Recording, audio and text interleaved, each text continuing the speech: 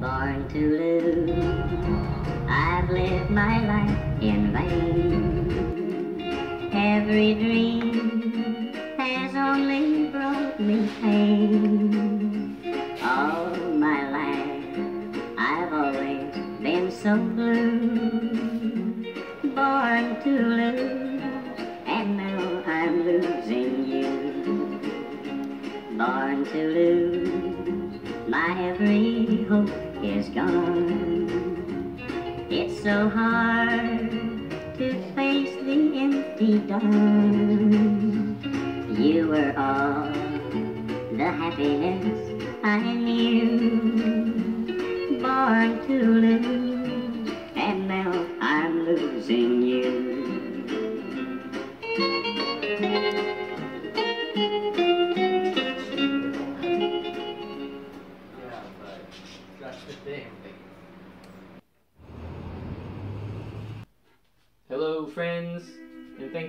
joining me for my eighth video.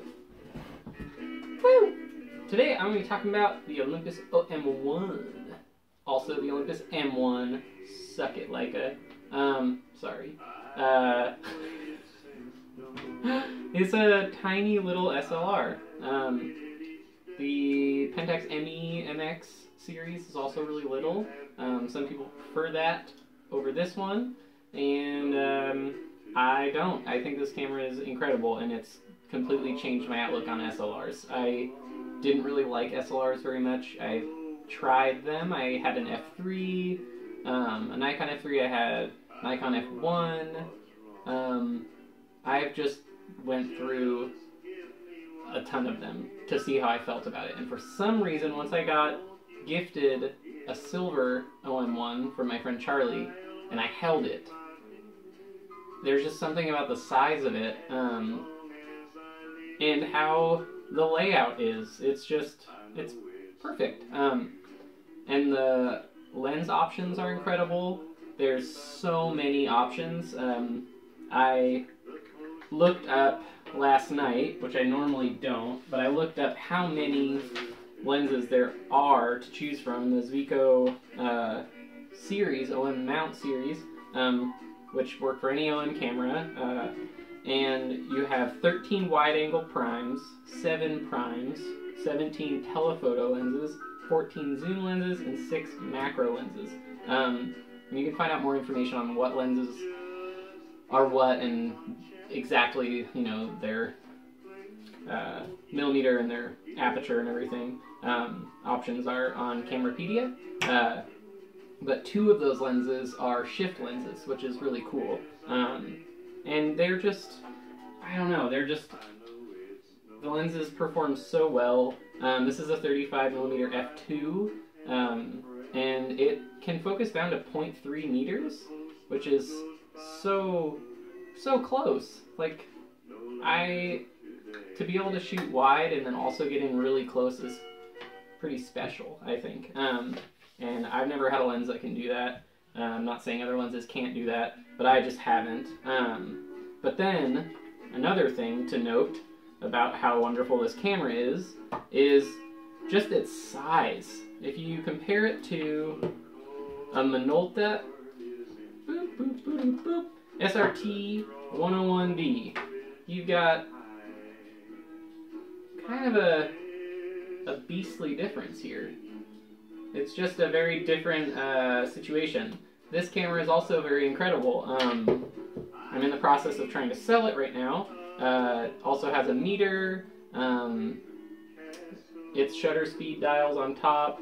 The Olympus OM1 shutter speed dial is at the base of the lens. And it's super easy to use. It seems a little weird at first. Um, truly is not weird.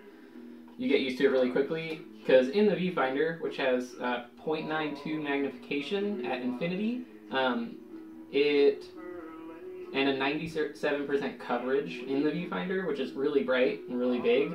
Uh, it does have a meter uh, switch, so when you do have a battery in, which they don't make the batteries anymore, um, and you can get them adjusted to be able to take uh, different batteries to work the meter, but just trying to put like LR44s in there or something you're not going to be able to, even if you wedge it with paper and do foil, you're not going to uh, give it consistent power. So you might get wonky readings. Um, maybe some people have figured out how to do that. I have not. Um, this one's meter inside has completely been removed, and same with my other black body that I have, um, which is broken right now, and I'm working on it.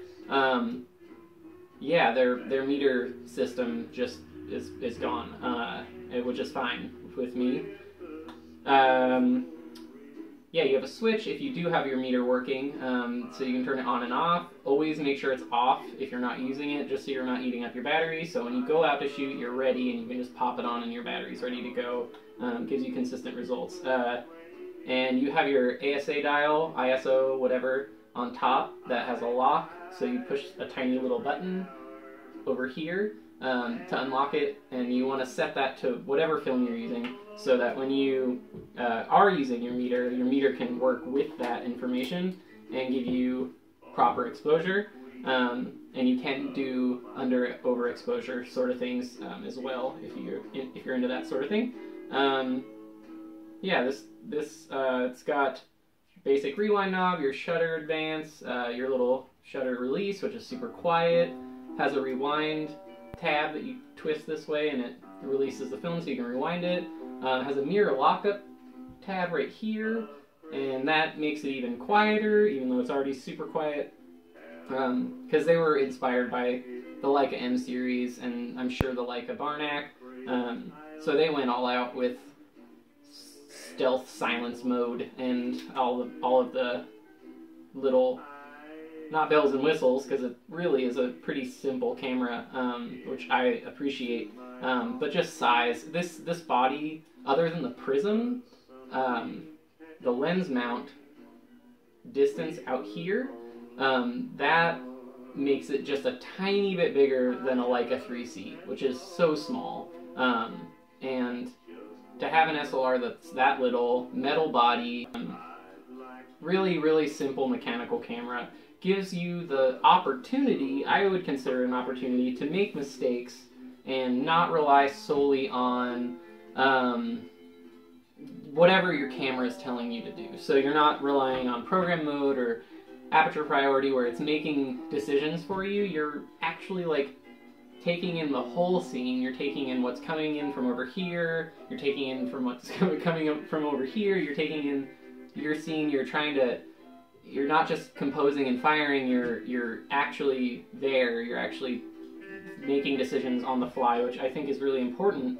with photography. Um, not to say that program mode is bad. Uh, I really don't think that either. Um, I just say that if you have the opportunity to work with a fully manual camera and not rely on a light meter, not rely on things being decisions being being made for you to try it out and not just try it once, but try it for push yourself to try it for go out every day, go out once a week, go out whatever, and do it for like a month, two months, and even if you borrow a camera, um, just try it and see what you can get. Um, and I think you'll surprise yourself. I feel like it'll be a beneficial experience, and you might come up with ideas. You might make a mistake that actually influences you to go more in a direction of like, I don't know, more slow exposure or overexposure, more contrast, um, more blur. Uh, I don't know, just different different mistakes. I feel like can kind of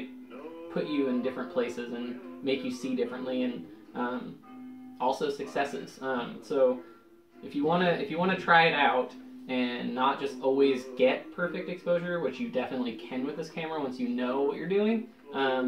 You should and just see what you get. And uh, I'm gonna keep using it. I think it's one of the best cameras I've ever used, um, and I think all Olympus cameras are incredible. Point and shoots, rangefinders, SLRs, uh, even their medium format um, cameras, like the folders and stuff.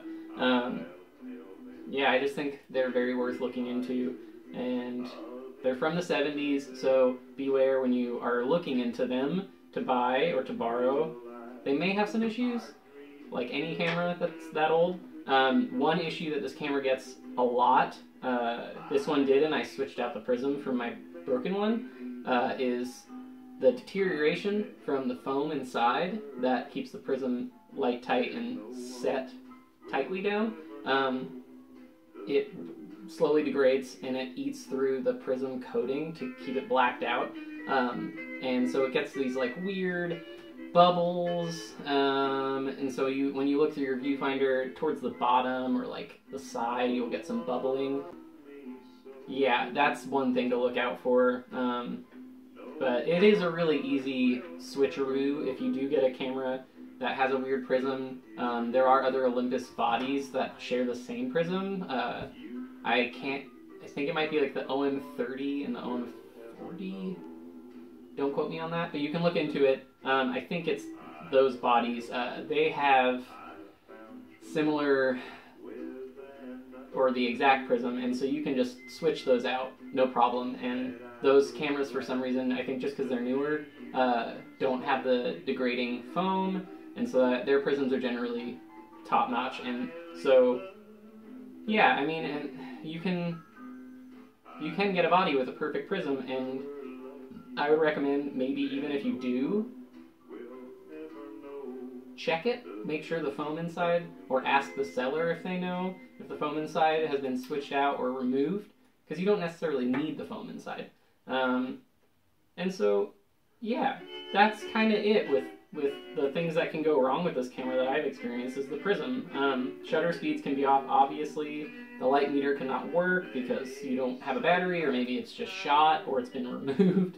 Um, but otherwise, solid camera, really easy to just throw over your shoulder, throw in a bag, and go and just fly through film. Um, and you can get with this 35 f2 lens your options for portraiture are like macro even almost almost um, and just wide street shots anything it's your availability is it's just not it's it's just out out out the roof. It's just, it's kind of amazing. Your aperture is up here on the on the top of the lens so it's just like jumping down. And to have all that accessible right at, at one in a cylinder right right there just so close getting used to that and doing that it's kind of fun. Um, yeah and what is photography for other than fun uh, so yeah that's the olympus om1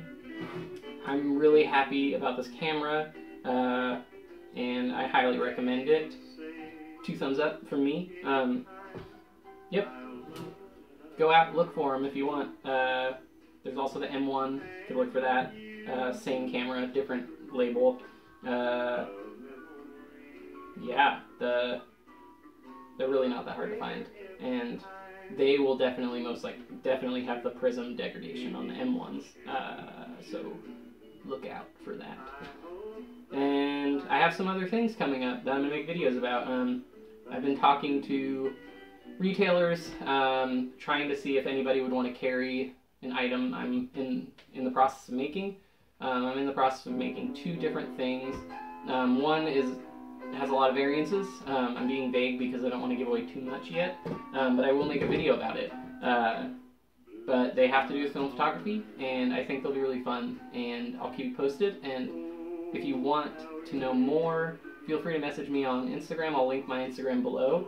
Um, and I can keep you posted through there too. Um, yeah, it's it's just a fun time for film photography, I think. So the more ideas that people have, and if we can get them going, then the better. And so I am trying to to get more uh, more spinning in the wheels uh, up here and actually do it.